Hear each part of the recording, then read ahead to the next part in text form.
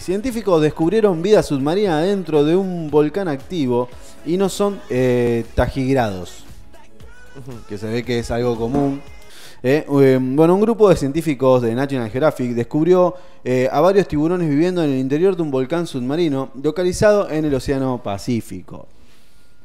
Eh, para recabar información de la zona, el, de la zona, el ingeniero oceánico Brennan Phillips y su equipo enviaron robots especiales debido a que el cuerpo volcánico aún se encuentra activo.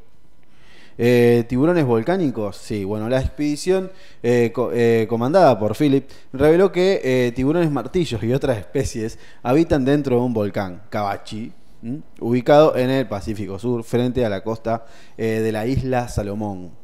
No sé si lo conoces a este volcán, pero bueno, los investigadores realizaron un primer acercamiento durante el 2015 en búsqueda de actividad eh, hidrotermal. Ahí va. Bien.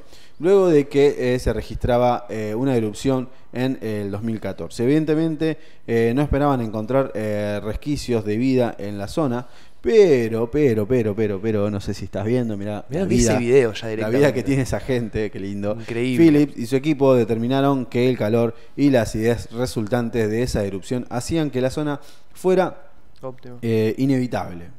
Y, eh, inhabitable. Ah. Eh, por lo que la expedición se realizó esen- esencialmente con robots y una cámara de aguas profundas que permitieron vi- visualizar a la especie marina en el volcán durante solo una hora. Eh, yo cuando era chico, a mí me gustaba esto de la filmación y, y ser realizador, yo- porque yo quería ser documentalista, no quería ser, Claro.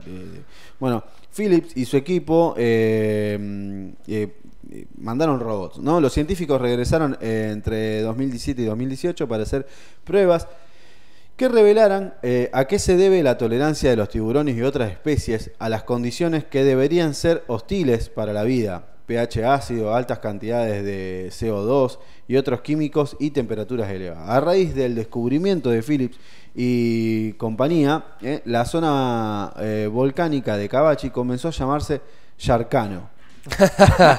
Excelente. Muy bueno, ¿eh? Eh, eh, un juego de palabras eh, que une Shark, tiburón y volcán. eh, volcán. Bueno, Brennan eh, cree que estas especies eh, pudieron haber evolucionado para detectar cambios en el comportamiento del volcán y sobrevivir a las condiciones del medio ambiente.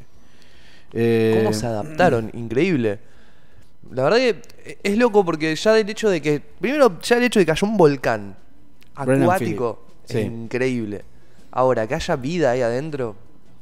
Claro. Bueno, Philip eh, y Dum, Dumbabin eh, especificaron que la mayoría de, de sus robots están elaborados con PVC y materiales de reuso, algo que llamaron Bush Robotic. Claro, lo, supongo que no debe ser Bush. con costo. Bush.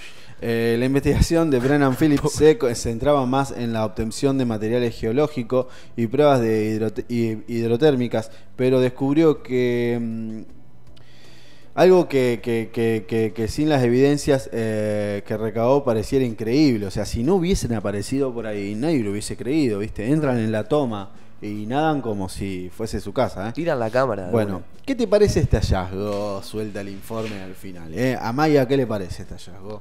Me parece que vos me vas a hacer un mate cocido en un ratito. Bueno, eh, era eso, ¿no? Lo que te quería mostrar. Viven en el volcán Yarcano. Me Qué encanta. vida, loco. ¿eh? Qué, qué- qué loco encontrar eso. Qué, loco vivir de eso. Es rarísimo. Ahí están, ¿eh? te abren un premier en el medio de la nada, en la base de la montaña, descargando los archivos y teniendo ese tipo de problemas, pero ahí, ¿no?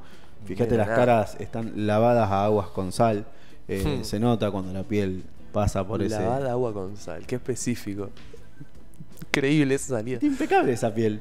Claro, le dio la sal en la cara, ¿viste? Wow. Ahí está.